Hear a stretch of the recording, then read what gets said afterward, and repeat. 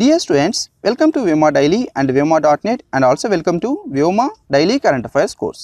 ఈ క్లాస్లో మనం జనవరి ఇరవై ఆరవ తేదీకి సంబంధించిన కరెంట్ అఫైర్స్ గురించి డిస్కస్ చేసుకుందాం ఏపీపీఎస్సీ గ్రూప్ టూ ప్రిలిమినరీ ఎగ్జామ్కి సంబంధించి నూతన సిలబస్ ప్రకారంగా వ్యోమా మీకు ఫ్రీ ఆఫ్లైన్ అలాగే ఫ్రీ ఆన్లైన్ మాక్ టెస్ట్ని కండక్ట్ చేస్తుంది దీనికి సంబంధించి వ్యోమా మీకు ఈ ఫ్రీ ఆఫ్లైన్ మాక్ టెస్ట్ని జనవరి ఇరవై ఏడవ తేదీన అలాగే ఫ్రీ ఆన్లైన్ మాక్ టెస్ట్ని జనవరి ఇరవై ఏడు ఇరవై ఎనిమిది రెండు తేదీలో కండక్ట్ చేయడం జరుగుతుంది.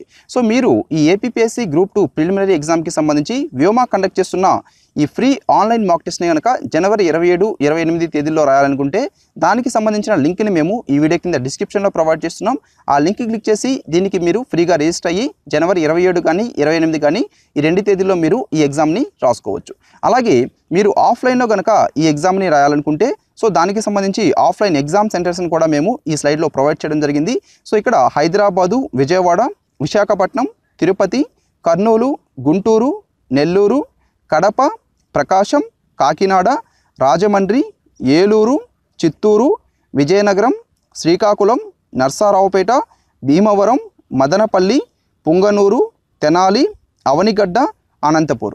Offline exam centres మరొకసారి హైదరాబాద్ విజయవాడ విశాఖపట్నం తిరుపతి కర్నూలు గుంటూరు నెల్లూరు కడప ప్రకాశం కాకినాడ రాజమండ్రి ఏలూరు చిత్తూరు విజయనగరం శ్రీకాకుళం నర్సారావుపేట భీమవరం మదనపల్లి పొంగనూరు తెనాలి అవనిగడ్డ అనంతపూర్.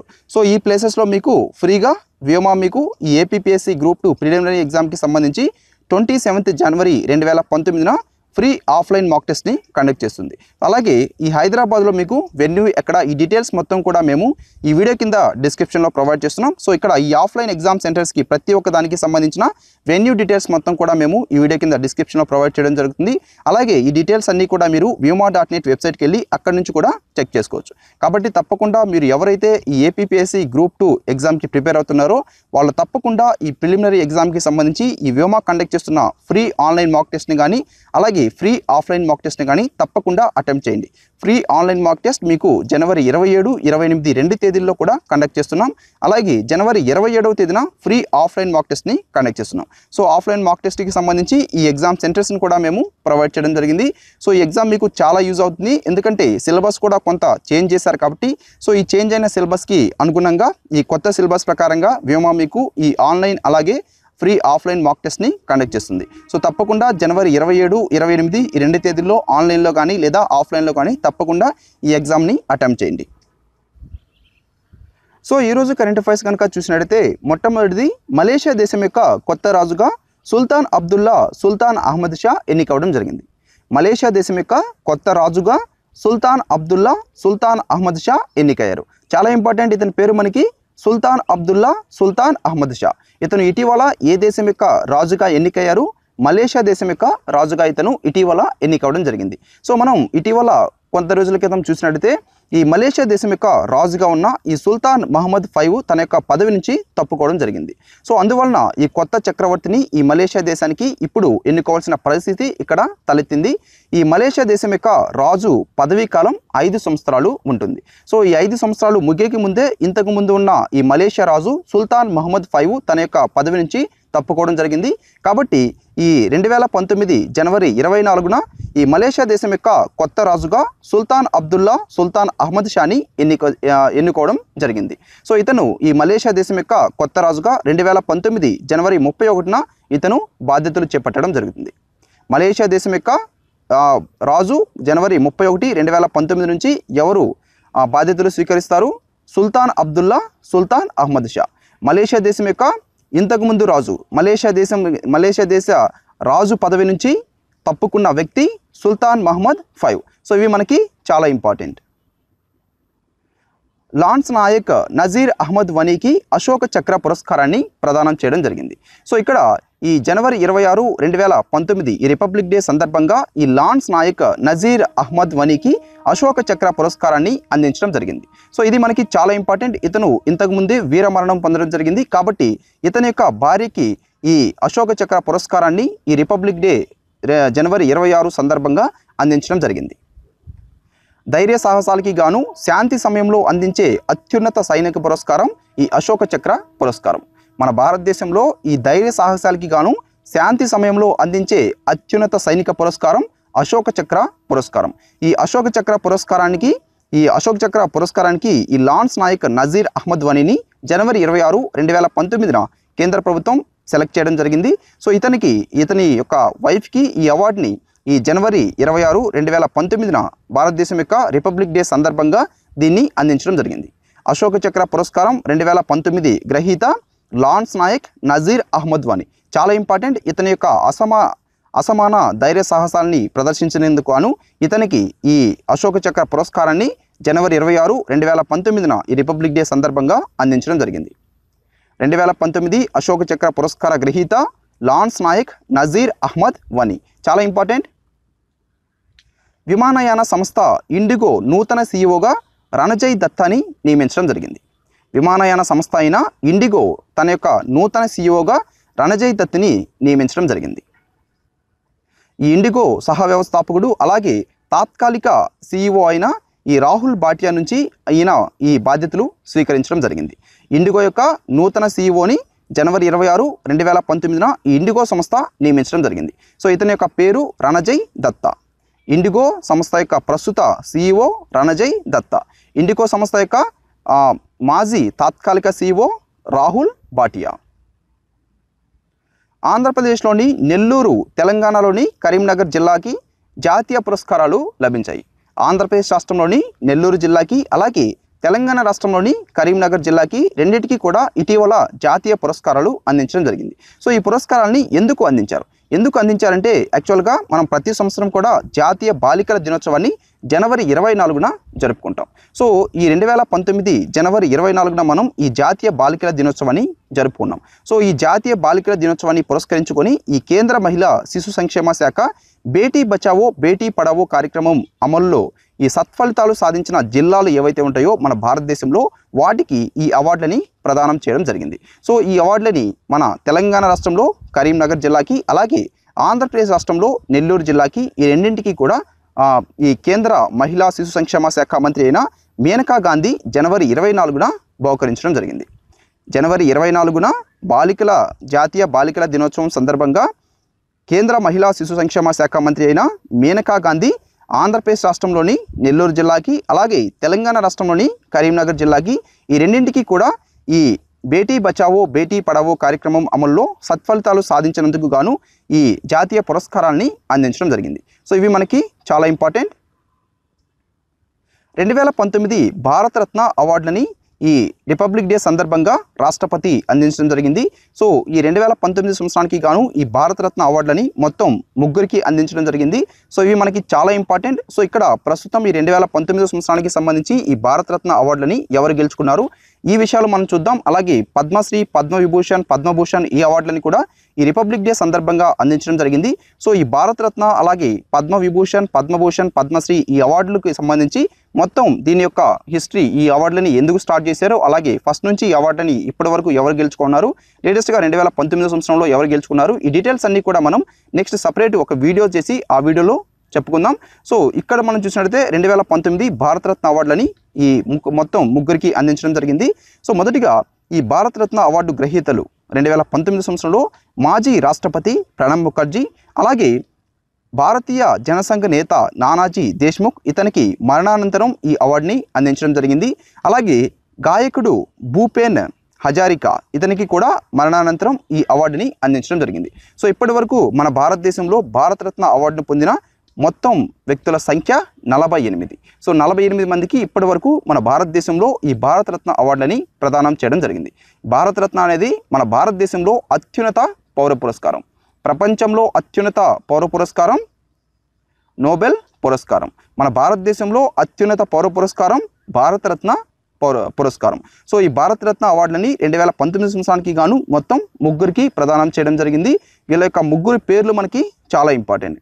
మాజీ భారతదేశం యొక్క రాష్ట్రపతి ప్రణబ్ ముఖర్జీ అలాగే భారతీయ జనసంఘ నేత అయిన నానాజీ దేశ్ముఖ్ ఇతనికి మరణానంతరం ఈ అవార్డుని అందించడం జరిగింది. అలాగే గాయకుడు భూపేన్ హజారికా ఇతనికి కూడా మరణానంతరం ఈ అవార్డుని అందించడం జరిగింది. సో దీంతో ఇప్పటిదాకా ఈ భారతరత్న పొందిన వారి సంఖ్య నలభై ఎనిమిదికి చేరింది.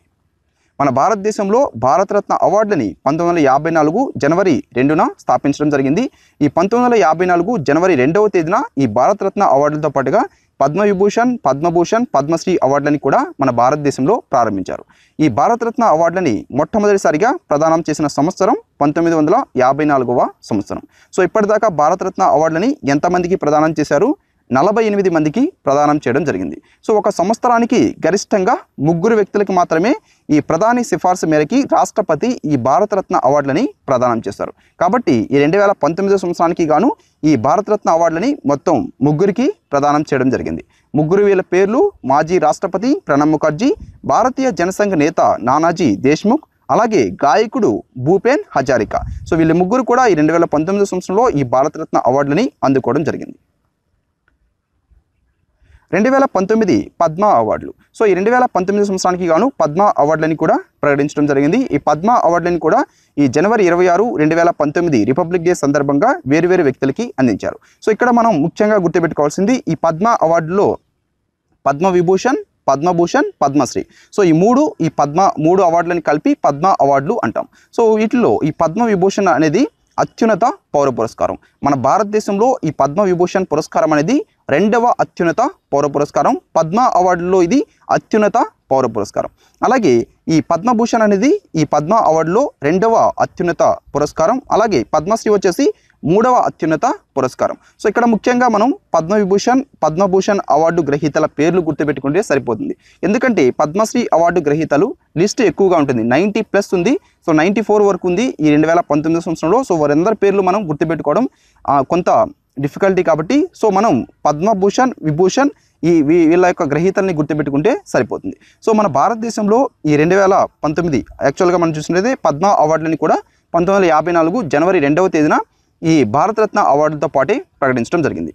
పద్మ విభూషణ్ అవార్డులు అనేది మన భారతదేశంలో వచ్చే రెండవ అత్యున్నత పౌర పురస్కారం. పద్మభూషణ్ మన భారతదేశంలో వచ్చే మూడవ అత్యున్నత పౌర పురస్కారం. పద్మశ్రీ అవార్డులు మన భారతదేశంలో వచ్చే నాలుగవ అత్యున్నత పౌర పురస్కారాలు. సో ఇవి మనకి చాలా ఇంపార్టెంట్. పద్మవిభూషణ్ రెండవ అత్యున్నత పౌర పురస్కారం పద్మభూషణ్ మూడవ అత్యున్నత పౌర పురస్కారం పద్మశ్రీ నాలుగవ అత్యున్నత పౌర పురస్కారం మన భారతదేశంలో ఇచ్చేవి. పద్మ భారతరత్న మన భారతదేశంలో వచ్చే అత్యున్నత పౌర పురస్కారం. సో వీటిని ఈ జనవరి ఇరవై ఆరో తేదీన ప్రతి సంవత్సరం కూడా ప్రకటించడం జరుగుతుంది. రిపబ్లిక్ డే సందర్భంగా. యాక్చువల్గా ఈ పద్మభూషణ్ అవార్డుని పంతొమ్మిది వందల యాభై నాలుగు జనవరి రెండవ తేదీన భారతరత్న అవార్డులతో పాటుగా ప్రారంభించడం జరిగింది. ఈ పద్మ అవార్డులకి ఎవరిని ఎంపిక చేయాలని చెప్పేసి ఈ ఎంపిక చేయడానికి ఒక కమిటీ ఉంటుంది. సో ఈ కమిటీలో సభ్యులుగా ఎవరుంటారంటే హోంశాఖ కార్యదర్శి క్యాబినెట్ కార్యదర్శి అలాగే ప్రధానమంత్రి కార్యదర్శి రాష్ట్రపతి కార్యదర్శి ఈ పద్మ అవార్డులకి ఎంపిక చేసే కమిటీలో సభ్యులుగా ఉంటారు.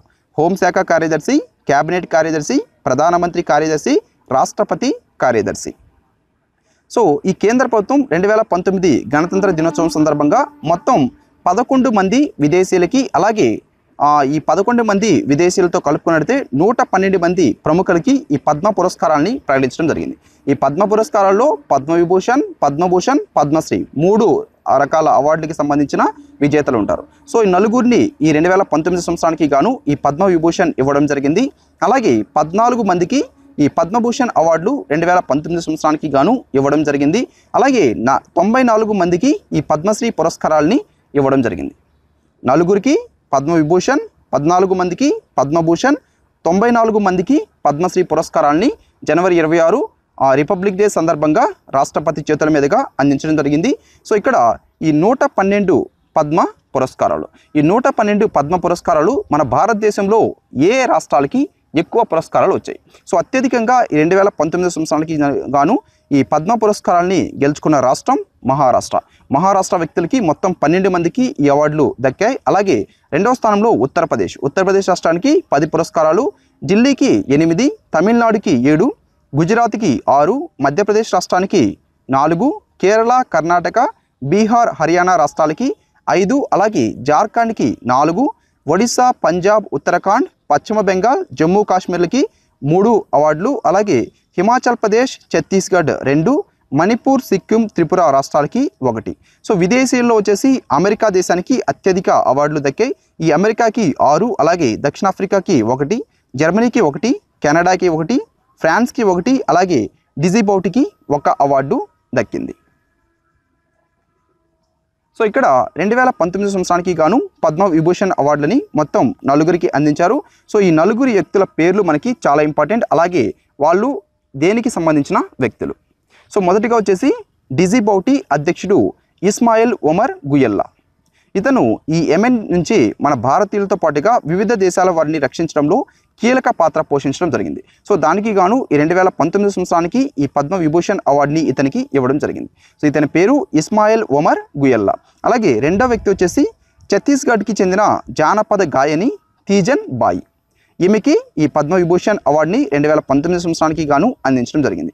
అలాగే మూడో వ్యక్తి మహారాష్ట్రకి చెందిన L N T chairman AM Naik. మహారాష్ట్రకి చెందిన L and T chairman AM Naik. నాలుగో వ్యక్తి మహారాష్ట్రకి చెందిన రంగస్థల కళాకారుడు బల్వంత్ మురేశ్వర్ పురందెల. పురందెరల పురన్ పురందరెల. మొత్తం నలుగురు వ్యక్తులు రెండు వేల పంతొమ్మిది సంవత్సరానికి గాను ఈ పద్మవిభూషణ్ అవార్డుని పొందడం జరిగింది. మొట్టమొదటి వ్యక్తి ఇస్మాయిల్ ఒమర్ గుయల్లా రెండో వ్యక్తి తీజన్ బాయి. ఈమె లేడీ అలాగే ఏఎం నాయక్. మూడో వ్యక్తి నాలుగో వ్యక్తి వచ్చేసి బల్వంత్ మురేశ్వర్ పురందరల్లా సో వీళ్ళ నలుగురికి కూడా రెండు వేల పంతొమ్మిది సంవత్సరానికి గాను ఈ పద్మ విభూషణ్ అవార్డులని అందించడం జరిగింది.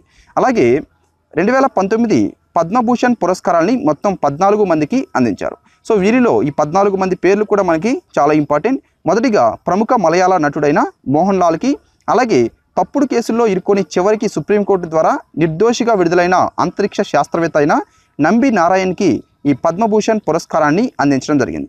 అలాగే దివంగత పాత్రికేయుడు కులదీప్ నయ్యర్కి లోక్సభ మాజీ డిప్యూటీ స్పీకర్ ప్రస్తుత మెంబర్ ఆఫ్ పార్లమెంట్ అయిన కరియా ముండాకి అలాగే ఆరుసార్లు పార్లమెంటుకి ఎంపికైన భారతీయ జనతా పార్టీ ఎంపీ కేంద్ర వ్యవసాయ శాఖ మాజీ మంత్రి అయిన హుకుందేవ్ నారాయణ్ యాదవ్కి అలాగే అకాలీదళ్ నేత మూడు సార్లు ఎంపీగా నాలుగు సార్లు ఎమ్మెల్యేగా సేవలందించిన సుఖ్దేవ్ సింగ్ ధిన్సాకి అలాగే ఎండిహెచ్ మసాలా వ్యవస్థాపకు వ్యవస్థాపకులు సిఇఓ అయిన మహాశై ధర్మపాల్కి పర్వతారోహకులకు పర్వతారోహకురాలు అయిన బచేంద్రి పాల్కి అలాగే మాజీ కంట్రోలర్ అండ్ ఆడిటర్ జనరల్ అయిన వికే శృంగ్లోలకి పదవి వ్యక్తి వచ్చేసి ట్రేడ్ అండ్ ఇండస్ట్రీ టెక్నాలజీకి సంబంధించి శ్రీ జాన్ చాంబర్స్కి అలాగే ప్రజా వ్యవహారాలకి సంబంధించి శ్రీ ప్రవీణ్ గోర్ధన్కి ఇవ్వడం జరిగింది. ఇతను విదేశీయుడు అలాగే సామాజిక సేవలో శ్రీ దర్శన్ లాల్ జైన్కి అలాగే మెడిసిన్ అఫోర్డబుల్ హెల్త్ కేర్కి సంబంధించి శ్రీ అశోక్ లక్ష్మణరావు కుకాడేకి ఆర్ట్ మ్యూజిక్ సితారాకి సంబంధించి శ్రీ బుధదిత్య ముఖర్జీకి రెండు వేల పంతొమ్మిది సంవత్సరానికి గాను ఈ పద్మభూషణ్ అవార్డులని అందించడం జరిగింది. సో వీళ్ళ యొక్క పేర్లు మరొకసారి మనం చూసినట్లయితే సో వీళ్ళ పేర్లు మనకి చాలా ఇంపార్టెంట్. మోహన్ లాల్ నంబినారాయణ్ కుల్దీప్ నయ్యర్ కరియా ముండా అలాగే Hukumdev Narayan Yadav Sukhdev Singh Dhindsa Mahashay Dharampal Bachendri Pal VK Shunglu Shri John Chambers Shri Pravin Gordhan Shri Darshan Lal Jain Shri Ashok Lakshmanrao Kukade Shri Buddhaditya Mukherjee. So వీళ్ళ పద్నాలుగు మందికి రెండు వేల పంతొమ్మిది సంవత్సరానికి గాను ఈ పద్మభూషణ్ అవార్డులని అందించడం జరిగింది. అలాగే రెండు వేల పంతొమ్మిది సంవత్సరానికి గాను పద్మశ్రీ పురస్కారాలని కూడా ప్రకటించారు. సో ఈ పద్మశ్రీ పురస్కారాన్ని రెండు వేల పంతొమ్మిది సంవత్సరానికి గాను మొత్తం తొంభై నాలుగు మందికి అందించడం జరిగింది. సో ఇక్కడ మనం ముఖ్యంగా ఈ తెలంగాణ స్టూడెంట్స్ అయితే తెలంగాణలో మొత్తం ఇద్దరికి రావడం జరిగింది. సో వీళ్ళ యొక్క పేర్లు అలాగే ఆంధ్రప్రదేశ్ స్టూడెంట్స్ అయితే ఆంధ్రప్రదేశ్ రాష్ట్రంలో కూడా రెండు అవార్డులు రావడం జరిగింది. సో ఈ ఆంధ్రప్రదేశ్కి వచ్చిన అవార్డులు గుర్తుపెట్టుకుంటే సరిపోతుంది. సో మొత్తం తొంభై నాలుగు అవార్డులు ఉన్నాయి కాబట్టి సో ఇవన్నీ మనం గుర్తుపెట్టుకోవాల్సిన అవసరం లేదు. సో మొదటిగా తెలంగాణ రాష్ట్రంలో ఈ పద్మశ్రీ పురస్కారాన్ని రెండు వేల పంతొమ్మిది సంవత్సరానికి కానీ పొందిన వ్యక్తులు ఇద్దరు. సో వీరిలో మొదటి వ్యక్తి జాతీయ ఫుట్బాల్ జట్టు కెప్టెన్ ప్రపంచవ్యాప్తంగా క్రియాశీలకంగా ఉన్న క్రీడాకారుల్లో అత్యధిక గోల్స్ సాధించిన వ్యక్తి సునీల్ ఛత్రి. అలాగే రెండో వ్యక్తి వచ్చేసి మూడు వేలకి పైగా సినీ గీతాలు రాసిన సినీ గేయ రచయిత సిరివెన్నెల సీతారామ శాస్త్రి. సునీల్ ఛత్రి సిరివెన్నెల సీతారామశాస్త్రి వీళ్ళిద్దరికీ రెండు వేల పంతొమ్మిది సంవత్సరానికి గాను ఈ పద్మశ్రీ పురస్కారాన్ని అందించడం జరిగింది. అలాగే ఆ ఆంధ్రప్రదేశ్ రాష్ట్రంలో మనం చూసినట్లయితే సో ఇక్కడ ఈ ఆంధ్రప్రదేశ్ రాష్ట్రంలో ద్రోణవల్లి హారిక దశాబ్ద కాలంగా చెస్లో భారతదేశానికి ప్రాతినిధ్యం వహిస్తూ రెండు వేల పదకొండు చెస్ గ్రాండ్ మాస్టర్గా నిలిచిన ప్రముఖ క్రీడాకారిణైన ద్రోణవల్లి హారికకి అలాగే రైతు నేస్తం ఫౌండేషన్ ద్వారా సేంద్రియ వ్యవసాయాన్ని ప్రోత్సహిస్తున్న వ్యవసాయ పాత్రికేయుడు ఎడ్లపల్లి వెంకటేశ్వరరావుకి రెండు వేల పంతొమ్మిది సంవత్సరానికి గాను ఈ పద్మశ్రీ అవార్డులని అందించడం జరిగింది. ఆంధ్రప్రదేశ్ రాష్ట్రం నుంచి ఇద్దరు ఈ పద్మశ్రీ అవార్డులని రెండు వేల పంతొమ్మిది సంవత్సరానికి గాను పొందారు. సో వీళ్ళ పేర్లు ద్రోణవల్లి హారిక ఎడ్లపల్లి వెంకటేశ్వరరావు. తెలంగాణ రాష్ట్రంలో మొత్తం ఇద్దరు. సునీల్ ఛత్రి సిరివెన్నెల సీతారామ శాస్త్రి. రెండు వేల పంతొమ్మిది సంవత్సరానికి గాను పద్మశ్రీ పురస్కారాన్ని ఎంతమందికి అందించారు? తొంభై నాలుగు మందికి ఈ అవార్డులని ప్రకటించడం జరిగింది. సో ఇక్కడ తొంభై నాలుగు మంది పేర్లు కూడా ఇక్కడ ఇవ్వడం జరిగింది. సో వీళ్ళ యొక్క పేర్లు క్విక్గా ఒకసారి చూద్దాం. ద్రోణవల్లి హారిక ఎడ్లపల్లి వెంకటేశ్వరరావు సిరివెన్నెల సీతారామ శాస్త్రి సునీల్ ఛత్రి. సో మొదటి ఇద్దరు వచ్చేసి ఆంధ్రప్రదేశ్ రాష్ట్రానికి చెందిన వ్యక్తులు. నెక్స్ట్ ఇద్దరు వచ్చేసి తెలంగాణ రాష్ట్రానికి చెందిన వ్యక్తులు. అలాగే ప్రముఖ డ్యాన్స్ మాస్టర్ అయిన ప్రభుదేవాకి కూడా ఈ పద్మశ్రీ పురస్కారం దక్కింది. శంకర్ మహదేవన్ నారాయణ్ అలాగే శంతను నారాయణ్ రామస్వామి వెంకటస్వామి దేవరపల్లి ప్రకాష్ రావు గౌతమ్ గంభీర్ ప్రముఖ క్రికెట్ బ్యాట్స్మెన్ అయిన గౌతమ్ గంభీర్కి అలాగే అబ్దుల్ గఫార్ ఖాత్రి గీతా మెహతా రాజేశ్వర్ ఆచార్య బంగారు ఆడిగా ఆడిగలార్ అలాగే ఎలియాస్ అలీ మనోజ్ బాజ్పాయి ఉద్దబ్ కుమార్ భారాలి ఉమేష్ కుమార్ భారతి ప్రీతం భరత్వాన్ జ్యోతి భట్ ఆ, కలీప్ సారీ దిలీప్ చక్రవర్తి మమ్మిన్ చాందీ స్వపన్ చౌదరి కన్వల్ సింగ్ చౌహాన్ దినియార్ కాంట్రాక్టర్ అలాగే ముక్తాబెన్ పంకజ్ కుమార్ దగ్లీ బాబులాల్ దహియా తంగా దర్లోంగ్ రాజకుమారి దేవి భగీరథి దేవి బల్దేవ్ సింగ్ ధిల్లాన్ గోదావరి దత్త గౌతమ్ గంభీర్ ద్రౌపది ఘిమేరి ఆ, గిమిరి అలాగే రోహిణి గాడ్బోలే సందీప్ గులేరియా ప్రతాప్ సింగ్ హార్దియా బులు ఇమాయ్ బులు ఇమామ్ అలాగే ఆ, ఫ్రెడరైక్ Irina బోర్వార్ Singh Jadhav కన్వల్ Singh Chauhan yes Jaishankar nursing Dev Jamwal Fayaz Ahmed John KG Jayan Subhash కక్ Sarath Kamal Rajinikanth Sudam Kate Waman Kendre Khadar Khan.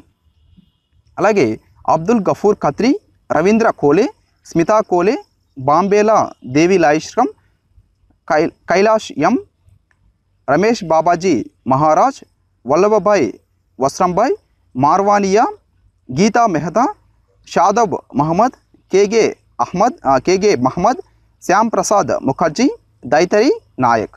Shantanu Narayan Dinyar काटर अलागे नर्तकी नटराज अनूप रंजन पांडे जगदीश प्रसाद पारीख गणपति बाई पटेल बीमल पटेल हुकुंद हुकुंचंद पाटीदार अलागे हरविंदर सिंग मधुरई चिन्ना पिल्लई कमला पुजारी जगत राम आर्वी रमणि देवरपल्ली प्रकाश राव अनूप साह नागिनी दास सांघवी షబీర్ సయ్యద్ మహేష్ శర్మ మహమ్మద్ హనీఫ్ ఖాన్ శాస్త్రి అలాగే బ్రిజేష్ కుమార్ శుక్లా నరేంద్ర సింగ్ ప్రశాంతి సింగ్ సుల్తాన్ సింగ్ జ్యోతి కుమార్ సిన్హా ఆనందన్ శివమణి శారదా శ్రీనివాసన్ దేవేంద్ర స్వరూప్ అజయ్ ఠాకూర్ రాజీవ్ తారానాథ్ సాలుమరద తిమ్మక్క జమునాథుడు భరత్ భూషణ్ త్యాగి రామస్వామి వెంకటస్వామి రామ్ శరణ్ వర్మ రామ్ శరణ్ వర్మ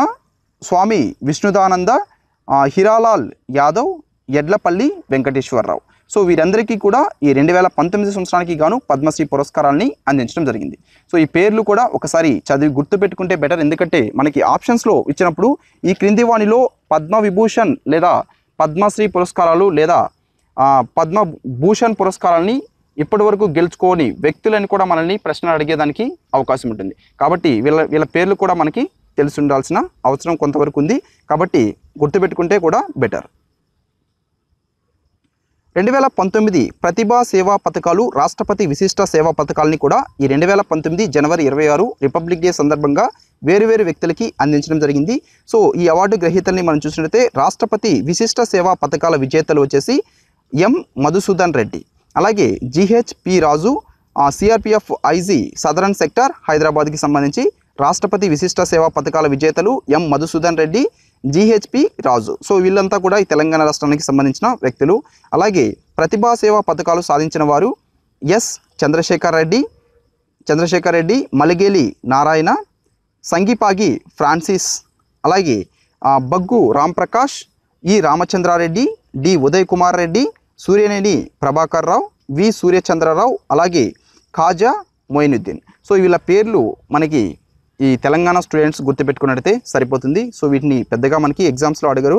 సో తెలంగాణ స్టూడెంట్స్ కొంతవరకు గుర్తుపెట్టుకుంటే సరిపోతుంది. సయ్యద్ ముక్బుల్ పాషా అలాగే మహమ్మద్ అలీ ఖాన్ ముక్తార్ జి లక్ష్మీనారాయణ మహమ్మద్ అజీజుద్దీన్ అమిత్ కుమార్ సింగ్ అలాగే మహమ్మద్ ఇస్మాయిల్ అన్సారీ పుదుకోడు వెంకటాచలం సుందరం. సో వీళ్ళంతా కూడా ఈ అవార్డులని గెలుచుకోవడం జరిగింది. అలాగే హోం వ్యవహారాల మంత్రిత్వ శాఖ నుంచి శ్యామ్ సుందర్ మారుతి ఎన్ బాలప్ప ఈ అవార్డులని పొందడం జరిగింది. రైల్వే మంత్రిత్వ శాఖ నుంచి వచ్చేసి తోట కృష్ణమురళి వినోద్ కుమార్ శుక్లా వీరన్న అంచూరి ఈ అవార్డుని పొందారు. సో వీళ్ళంతా కూడా తెలంగాణ వ్యక్తులు. సో ఈ తెలంగాణ స్టూడెంట్స్ వీటి వీళ్ళ పేర్లు గుర్తుపెట్టుకున్నట్టయితే సరిపోతుంది. అలాగే తెలంగాణ దివ్యాంగుల వయోవృద్ధుల సంక్షేమ విభాగం డైరెక్టర్ అయిన శైలజకి రాష్ట్రపతి ఈ అవార్డులని ప్రకటి ప్రదానం చేయడం జరిగింది. తెలంగాణ దివ్యాంగుల వయోవృద్ధుల సంక్షేమ విభాగం డైరెక్టర్ అయిన శైలజకి రాష్ట్రపతి చేతుల మీదుగా జనవరి ఇరవై ఆరు రిపబ్లిక్ డే సందర్భంగా అవార్డుని ప్రదానం చేయడం జరిగింది. పివి నరసింహారావు జీవిత సాఫల్య జాతీయ పురస్కారానికి మన భారతదేశం యొక్క మాజీ ప్రధాని అయిన మన్మోహన్ సింగ్ని ఎంపిక చేయడం జరిగింది. పివి నరసింహారావు జీవిత సాఫల్య జాతీయ పురస్కారం రెండు వేల పంతొమ్మిది యొక్క గ్రహీత మాజీ ప్రధాని మన్మోహన్ సింగ్. చాలా ఎంపిక చాలా ఇంపార్టెంట్ ఇది. అలాగే సౌత్ ఆఫ్రికా ఆల్రౌండర్ అయిన జోహన్ బోతా క్రికెట్ నుంచి రిటైర్మెంటు ప్రకటించడం జరిగింది. సౌత్ ఆఫ్రికా దేశం యొక్క ఆల్రౌండర్ అయిన జోహన్ బోతా ఇటీవల ఈ క్రికెట్ నుంచి రిటైర్మెంటు ప్రకటించారు. లక్ష్మీ విలాస్ బ్యాంక్ మేనేజింగ్ డైరెక్టర్గా పార్థసారథి ముఖర్జీని తిరిగి నియమించడం జరిగింది. సో ఇతను ఇంతకుముందు కూడా ఈ లక్ష్మీ విలాస్ బ్యాంక్ యొక్క మేనేజింగ్ డైరెక్టర్గా ఉన్నారు. సో ఇతని యొక్క పదవీ కాలం ముగుస్తున్న సమయంలో ఇతని మరలా తిరిగి ఈ లక్ష్మీ విలాస్ బ్యాంక్ యొక్క మేనేజింగ్ డైరెక్టర్గా నియమించడం జరిగింది. లక్ష్మీ విలాస్ బ్యాంక్ యొక్క ప్రస్తుత managing director Parthasarathi Mukherjee. So ఇతని ఈ లక్ష్మీ విలాస్ బ్యాంక్ యొక్క హెడ్ క్వార్టర్స్ వచ్చేసి ప్రధాన కార్యాలయం తమిళనాడులోని చెన్నైలో ఉంది. లక్ష్మీ విలాస్ బ్యాంక్ని పంతొమ్మిది వందల ఇరవై ఆరో సంవత్సరంలో స్థాపించడం జరిగింది. ఈ లక్ష్మీ విలాస్ బ్యాంక్ యొక్క ట్యాగ్ లైన్ వచ్చేసి the changing face of prosperity. Lakshmi Vilas bank యొక్క tag line the changing face of prosperity. Lakshmi Vilas bank యొక్క ప్రస్తుత మేనేజింగ్ డైరెక్టర్ పార్థసారథి ముఖర్జీ. డెబ్బైవ రిపబ్లిక్ డే రెండు వేల పంతొమ్మిది దక్షిణాఫ్రికా అధ్యక్షుడు సిరిల్ రామ్ఫోసా ప్రధాన అతిథిగా అటెండ్ అవ్వడం జరిగింది. రెండు వేల పంతొమ్మిది జనవరి ఇరవై ఆరున భారతదేశం యొక్క రిపబ్లిక్ డే సందర్భంగా ఈ దక్షిణాఫ్రికా దేశం యొక్క అధ్యక్షుడైన సిరిల్ రామ్ఫోసా ప్రధాన అతిథిగా అటెండ్ అవ్వడం జరిగింది. సో ఇది మనకి చాలా ఇంపార్టెంట్. డెబ్బైవ రిపబ్లిక్ డే ప్రధాన అతిథి ఎవరు? డెబ్బైవ భారతదేశం యొక్క రిపబ్లిక్ డే ప్రధాన అతిథి దక్షిణాఫ్రికా దేశం యొక్క అధ్యక్షుడు సిరిల్ రామఫోసా. రెండు వేల పంతొమ్మిది సంవత్సరంలో రెండు వేల పంతొమ్మిది జనవరి ఇరవై ఆరున ఎన్నవ రిపబ్లిక్ డేని భారతదేశం జరుపుకుంది డెబ్బైవ రిపబ్లిక్ డే. ఈ డెబ్బైవ రిపబ్లిక్ డే రెండు వేల పంతొమ్మిది ఈ ప్రధాన అతిథి వచ్చేసి దక్షిణాఫ్రికా దేశం యొక్క అధ్యక్షుడు సిరిల్ రామఫోసా. చాలా ఇంపార్టెంట్.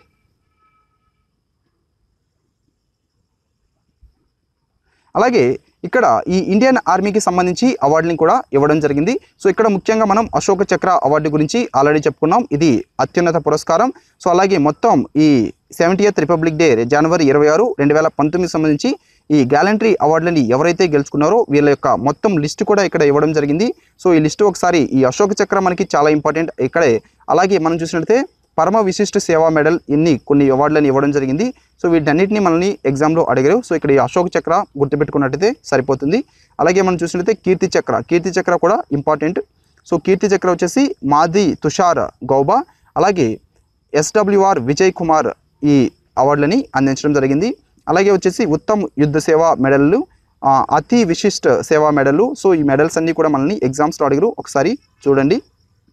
అలాగే శౌర్య చక్ర శౌర్య చక్ర కూడా మనకి చాలా ఇంపార్టెంట్ సో ఈ శౌర్య చక్ర అవార్డులు లిస్ట్ మొత్తం కూడా ఇక్కడ ఇవ్వడం జరిగింది. లెఫ్టినెంట్ కల్నల్ విక్రాంత్ ప్రషేర్ అలాగే ఆ, మజ్ అమిత్ కుమార్ దిమ్రి మజ్ మేజ ఆ, major sorry major Imliya Imliakum కిజ్జర్ major Rohit Lingwal captain Abhay Sharma captain Abhinav Kumar అలాగే ఆ, Ayub Ali Ajay Kumar SPR Mahesh HN. So వీళ్ళకి ఈ శౌర్య చక్ర అవార్డులని అందించడం జరిగింది. అలాగే బాటు యుద్ధ సేవా మెడల్ యుద్ధ సేవా మెడల్ గ్రహీతలను కూడా ఇక్కడ ఇచ్చారు. బాటు సేనా మెడల్ గ్రహీతలు సేనా మెడల్ గ్రహీతల్ని కూడా ఇక్కడ ఇవ్వడం జరిగింది. సో ఇదంతా కూడా మీకు పీడిఎఫ్ ఫార్మేట్లో మనం ప్రొవైడ్ చేస్తాం. సో ఈ లిస్ట్ మొత్తం కూడా మీరు ఒకసారి చదివినట్టయితే సరిపోతుంది. సో ఇవి మనకి అంత ఇంపార్టెంట్ కాదు. ఎక్కువగా వీటిని మనల్ని ఎగ్జామ్లో అడుగురు. అశోక చక్ర ఇవి మనకి చాలా ఇంపార్టెంట్. అశోక చక్ర గ్రహీత పేరు మనకి చాలా ఇంపార్టెంట్. సో అలాగే సేనా మెడల్ డిస్టింగ్విష్డ్ ఇక్కడ. అలాగే బాటు సేనా మెడల్ సేనా మెడల్ అని చెప్పేసి మొత్తం ఈ అవార్డులు గ్రహీతలు ఎవరైతే ఉన్నారో వీళ్ళ లిస్ట్ మొత్తం కూడా ఇక్కడ ఇవ్వడం జరిగింది. మొత్తం ఫోర్ హండ్రెడ్ ప్లస్ ఉన్నట్టున్నాయి. సో ఇవి సో ఇవన్నీ మనం గుర్తుపెట్టుకోవాల్సిన అవసరం లేదు. సో జస్ట్ మీకు లిస్ట్ ఇక్కడ ప్రొవైడ్ చేయడం జరిగింది. అశోక చక్ర మనకి చాలా ఇంపార్టెంట్ సో ఇవి ఈరోజు కరెంట్ అఫైర్స్ మనం నెక్స్ట్ ఒక సపరేట్ వీడియోలో ఈ రెండు వేల పంతొమ్మిది సంవత్సరానికి సంబంధించి భారతరత్న అవార్డు గ్రహీతలు మొత్తం భారతరత్న అవార్డుల గురించి హిస్టరీ మొత్తం అలాగే భారతరత్న అవార్డులని మొట్టమొదటి మొదటి నుంచి ఇప్పటి వరకు ఎవరు గెలుచుకున్నారు ఎంతమంది గెలుచుకున్నారు వారు ఏ ఏ సంవత్సరాల్లో గెలుచుకున్నారు అలాగే పద్మ అవార్డు పురస్కారాలకు వచ్చినట్టయితే పద్మ విభూషణ్ ఎప్పటి నుంచి ప్రారంభించారు? పద్మ విభూషణ్ అది మనం చెప్పుకున్నాం. అలాగే పద్మ విభూషణ్ మొట్టమొదటిసారి ఎవరు గెలుచుకున్నారు? అలాగే రీసెంట్గా రెండు వేల పంతొమ్మిది సంవత్సరంలో ఎవరు ఈ అవార్డుని పొందారు? అలాగే పద్మభూషణ్ అలాగే పద్మశ్రీ వీటి గురించి కూడా అలాగే మనం చూసినట్లయితే ఈ మిలిటరీలో అత్యున్నత పురస్కారాలైన ఈ అశోక చక్ర ఇలాంటి అవార్డుల గ్రహీతలు వీటి గురించి మనం ఒక సపరేట్ వీడియోలో చెప్పుకోవడం జరుగుతుంది. సో దానికి సంబంధించిన వీడియోని నేను టుమారో ఆ డే ఆఫ్టర్ టుమారో మీకు ప్రొవైడ్ చేస్తాను. సో అది ఫాలో అయినట్టయితే సరిపోతుంది. సో ఈ ఈ భారతరత్న అవార్డుల గురించి కానీ అలాగే పద్మవిభూషణ్ పద్మభూషణ్ అలాగే మనం చూసినట్లయితే పద్మశ్రీ కొన్- లైట్గా ఇంపార్టెంట్ సో ఈ పద్మశ్రీ అవార్డులు కానీ అలాగే అశోక చక్ర వీటి నుంచి మనల్ని కంపల్సరీ క్వశ్చన్స్ అడిగేదానికి అవకాశం ఉంటుంది. సో ఈ నోటిఫికేషన్స్లో వీటి నుంచి క్వశ్చన్ అనేది ఇకమైన జరిగే ఎగ్జామ్స్లో వచ్చేదానికి మ్యాక్సిమం ఛాన్సెస్ ఉన్నాయి. కాబట్టి వీటన్ని వీళ్ళందరి పేర్లు కూడా మనం కంపల్సరీ గుర్తుపెట్టుకోవాలి. అలాగే ఈ వీడియో కనుక మీకు నచ్చినట్లయితే తప్పకుండా ఈ వీడియోని లైక్ చేయండి. అలాగే ఈ వీడియో మీద మీ అభిప్రాయాన్ని తప్పకుండా ఈ వీడియో కింద కామెంట్ సెక్షన్లో మీరు తెలపండి. అలాగే ఈ వీడియోని మీరు చూసిన తర్వాత మీ ఫ్రెండ్స్కి మన తెలుగు యాస్పెంట్స్కి ప్రతి ఒక్కరికి చేరే విధంగా మీ సోషల్ మీడియా సైట్స్లో ఫేస్బుక్లో కానీ వాట్సాప్లో కానీ లేదా ఇతర సోషల్ మీడియా సైట్స్లో కానీ తప్పకుండా షేర్ చేయండి. థ్యాంక్ యూ ఫ్రెండ్స్ సో ఈ డైలీ కరెంట్ అఫైర్స్ సంబంధించి ఈ నోట్స్ మొత్తం కూడా మీకు పీడిఎఫ్ ఫార్మేట్లో ప్రొవైడ్ చేస్తున్నాం మేము. ఈ వీడియో కింద డిస్క్రిప్షన్లో సో ఆ లింక్ క్లిక్ చేసి మీరు ఈ నోట్స్ మొత్తం కూడా డౌన్లోడ్ చేసుకొని చదువుకోవచ్చు. సో ఈ పేర్లన్నీ కూడా ఈ లిస్ట్ చాలా ఇంపార్టెంట్ కరెంట్ అఫైర్స్ ఉన్నాయి ఈ రోజున. సో ఈ వీళ్ళందరి పేర్లు మనకి చాలా ఇంపార్టెంట్ అలాగే తప్పకుండా మీరు ఏపీఎస్సీ గ్రూప్ టూ ఎగ్జామ్కి ప్రిపేర్ అవుతున్నట్టయితే ఈ వేమా కండక్ట్ చేస్తున్న ఫ్రీ ఆఫ్లైన్ అలాగే ఆన్లైన్ మాక్ టెస్ట్ని జనవరి ఇరవై ఏడు కానీ ఇరవై ఎనిమిది కానీ రెండు తేదీలో మీరు తప్పకుండా అటెంప్ట్ చేయండి. అలాగే ఇలాంటి మరిన్ని వీడియోల కోసంగా తప్పకుండా ఈ వ్యోమా డైలీ యూట్యూబ్ ఛానల్ని సబ్స్క్రైబ్ చేసుకోండి. అలాగే ఈ ఛానల్ గురించి మీ ఫ్రెండ్స్ ఎవరైనా తెలియని వాళ్ళు కూడా తప్పకుండా తెలియచేయండి. ఈ వీడియోస్ని మీరు చూసిన తర్వాత తప్పకుండా మీ ఫేస్బుక్లో కానీ వాట్సాప్లో కానీ లేదా ఇతర సోషల్ మీడియా సైట్స్లో కానీ తప్పకుండా షేర్ చేయండి. Thank you friends